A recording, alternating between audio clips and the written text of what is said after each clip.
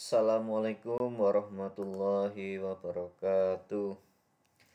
Alhamdulillahirrabbilalamin Allahumma sholli ala Muhammad. Rabbi yadni ilma nafi'an warsyukni fahman.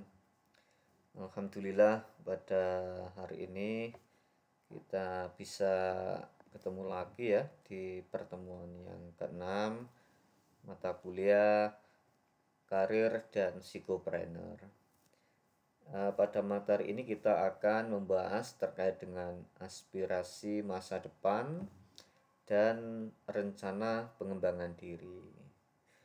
Uh, ini penting ya karena bagaimanapun juga kita sebagai manusia itu uh, yang pertama kita harus punya rencana ya rencana-rencana apa yang ingin kita lakukan itu kalau kita buat lebih baik maka akan membantu kita dalam rangka meraih cita-cita kita.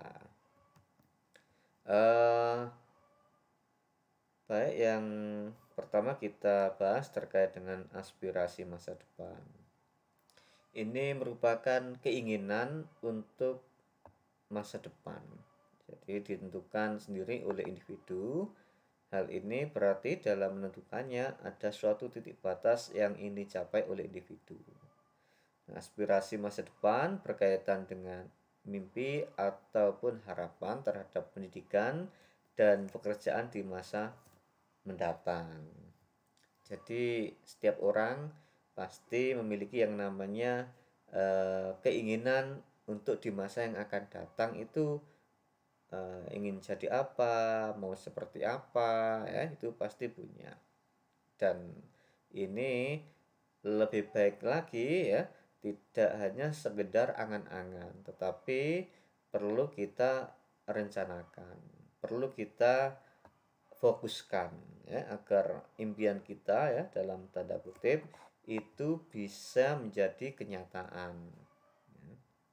nah aspirasi itu terbentuk berdasarkan hal yang dianggap penting atau berarti dalam hidup seseorang.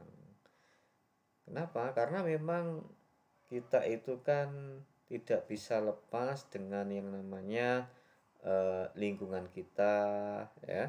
Dan biasanya dorongan keinginan kita itu juga nggak jauh beda-beda dengan orang di sekeliling kita ya oleh karena itu ya sebaiknya kita itu berteman dengan orang-orang yang positif dengan orang-orang yang baik karena itu akan mensupport uh, aspirasi masa depan kita ya. Karena pada dasarnya kita uh, untuk dapat meraih keinginan kita itu ya dipengaruhi oleh dua faktor ya jadi keinginan kita itu umumnya dipengaruhi oleh dua faktor. Yang pertama itu uh, diri sendiri ya. Dan yang kedua itu lingkungan. Jadi dua variabel ini uh, berkombinasi ya. Berkombinasi untuk saling menyesuaikan ya. Apakah kita yang menyesuaikan dengan lingkungan atau kita tetap bertahan dengan karakteristik diri kita dua ini uh, selalu bergejolak ya dalam diri kita dan tentunya pasti keduanya akan mengikuti apa yang menjadi keinginan kalian. Ada tiga area utama yang harus dikaji ya dalam kaitannya dengan aspirasi masa depan. Yang pertama itu pendidikan. Nah, jadi kalau sekarang kalian masih kuliah itu tentunya ada aspirasi uh, masa depan itu. Contohnya misalkan terkait dengan IPK misalkan. Oh saya nanti kalau lulus ingin memiliki atau ingin mendapatkan IPK 3,99 misalkan ya. Sehingga uh, itu menjadi aspirasi kita. Atau kalian ingin nanti lulus uh, pada semester ini gitu ya. Atau ingin uh, wisuda pada tahun sekian. nah, ya. Atau bahkan mungkin ingin studi lanjut ya pada tahun sekian ya jurusan ini jurusan itu. Nah itu uh, terkait dengan aspirasi masa depan ya terkait dengan pendidikan yang kedua itu terkait dengan pekerjaan jadi kalau pertemuan yang pertama atau di awal-awal pertemuan kemarin kalian mencoba untuk memotret diri kalian ya terkait dengan kesesuaian pekerjaan.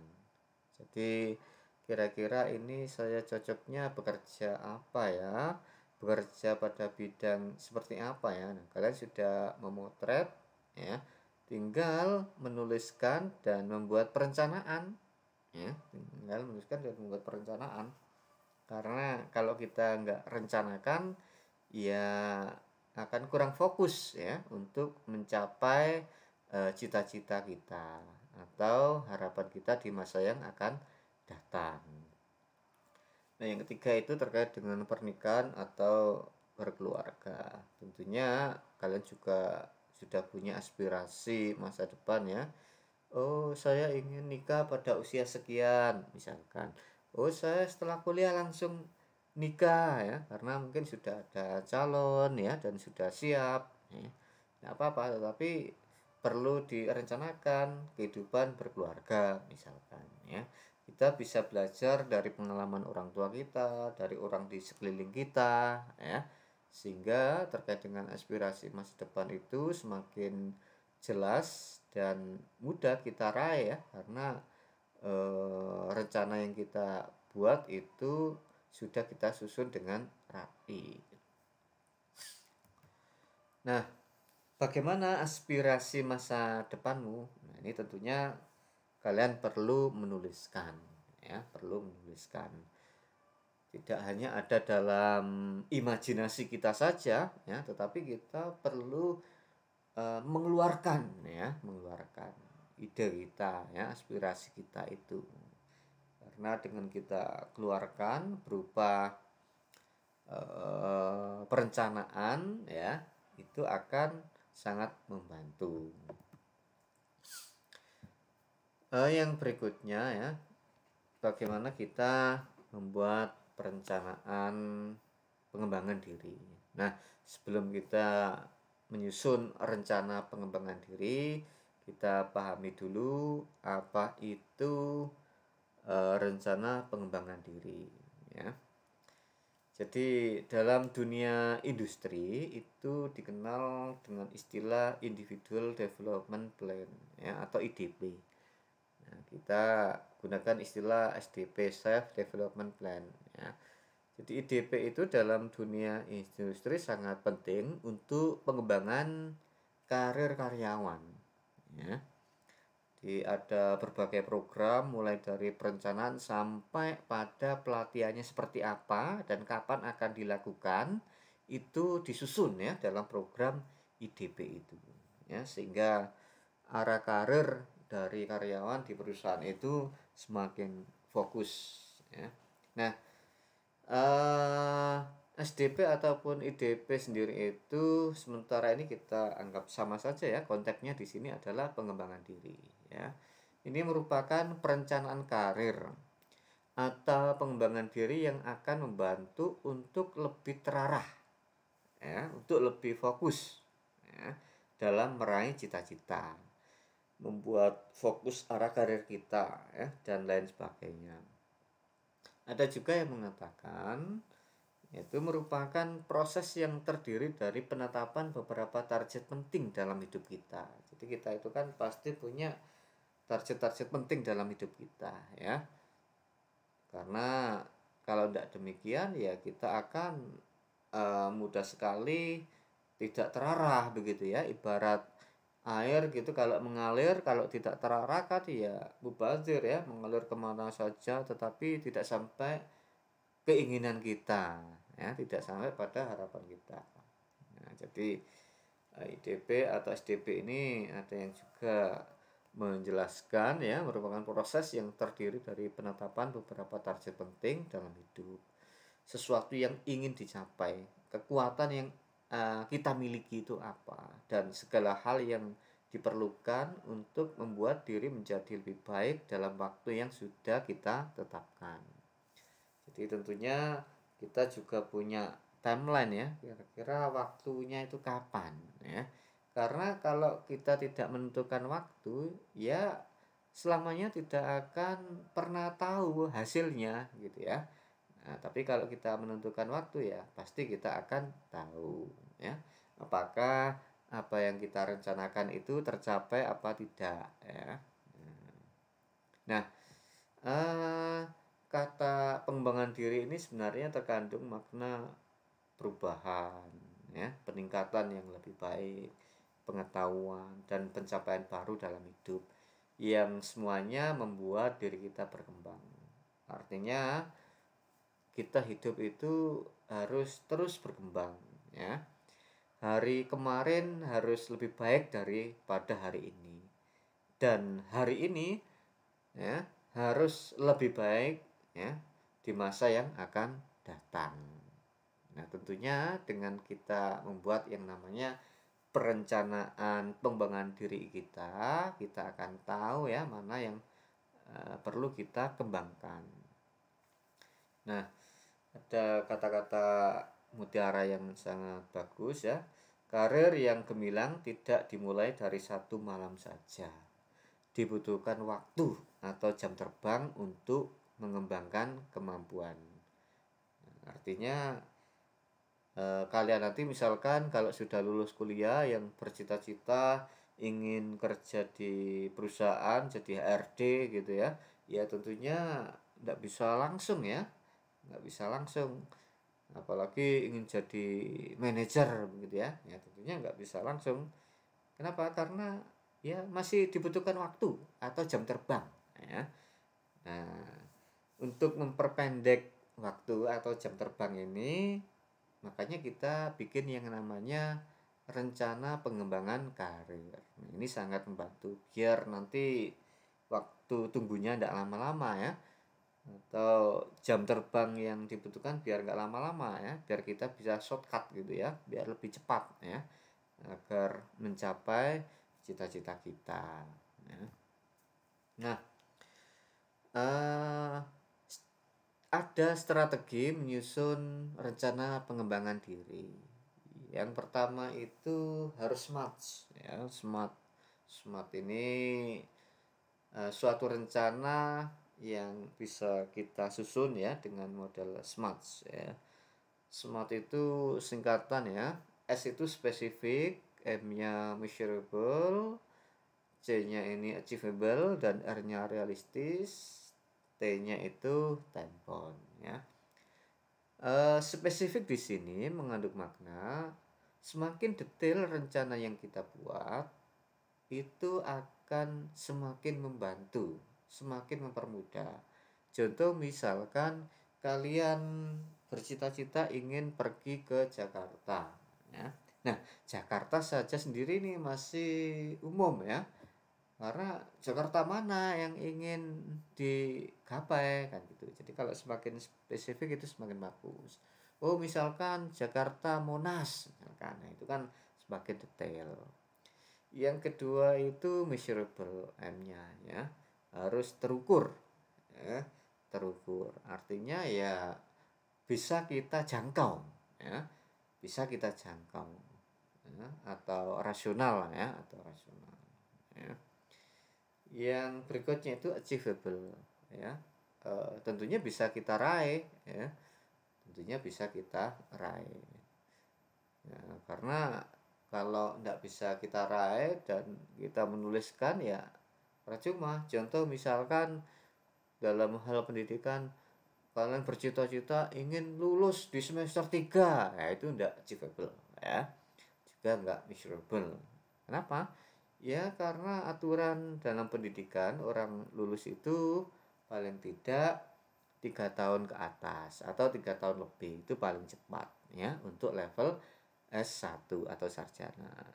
Jadi bisa kita raih misalkan kalian bercita-cita wah saya ingin lulus di semester tiga setengah. Nah itu masih achievable ya masih bisa kita raih. Dan uh, realistis ya realistis ya. Yang terakhir itu time ya tentunya terkait dengan waktu.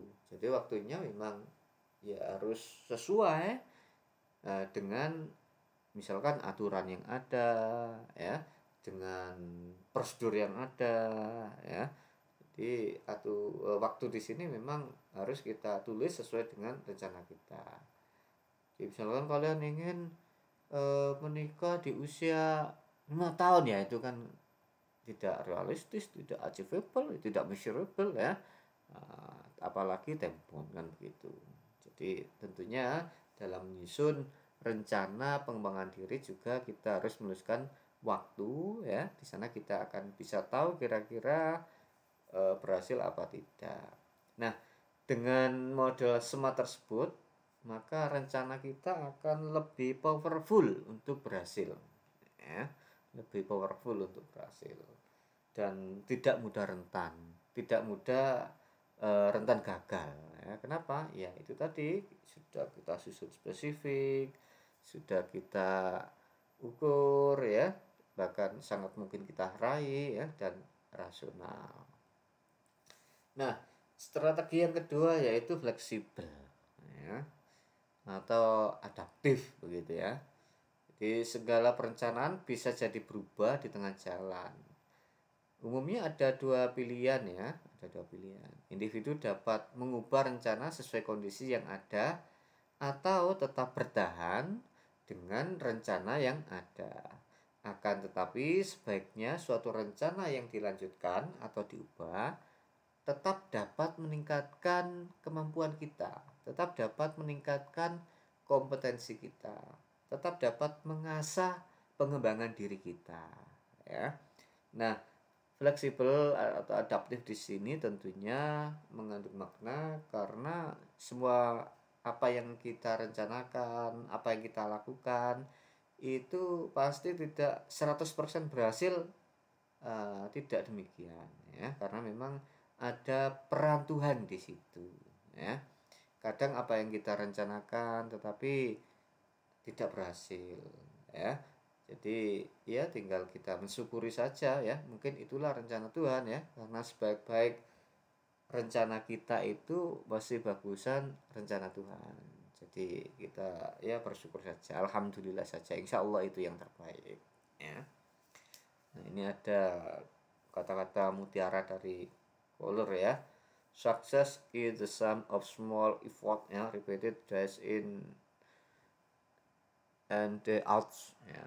Jadi sukses itu ya kumpulan ya dari upaya-upaya yang sudah kita lakukan tiap hari jadi uh, orang itu tidak akan sukses kalau tanpa ada upaya tanpa ada usaha ya jadi kalau ingin sukses ya harus terus uh, mengupayakan, harus terus mengusahakan agar kita bisa mencapai apa yang kita cita-citakan. Nah, uh, dalam menyusun rencana pengembangan diri, saya memberikan dua contoh ya atau dua format ya.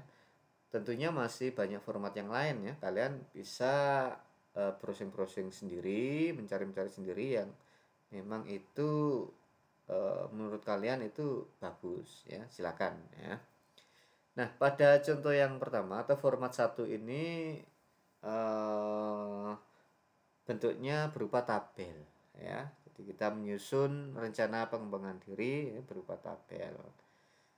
Contoh misalkan pada kolom yang pertama itu apa tujuan jangka panjang anda? Kita bisa memodifikasi ya.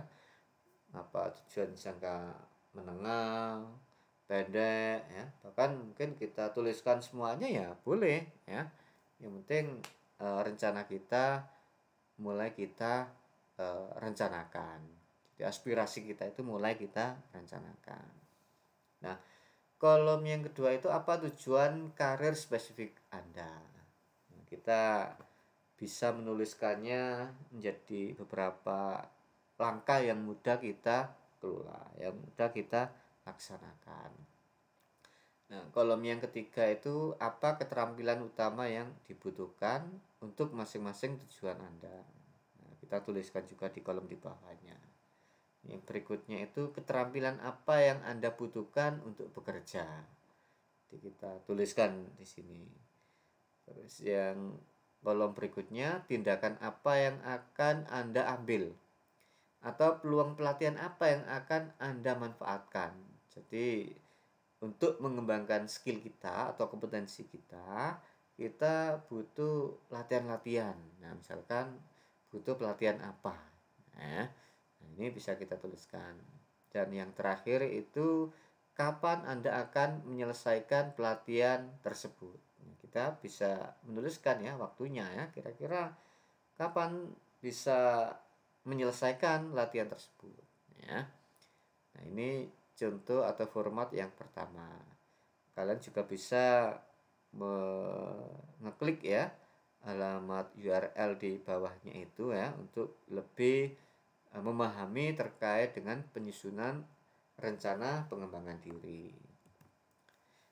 Nah, yang berikutnya ini contoh yang kedua atau format dua Kita bisa menyusun rencana pengembangan diri ya mulai nama, NIM, tanggal pengisian ya, tanggal pengisian.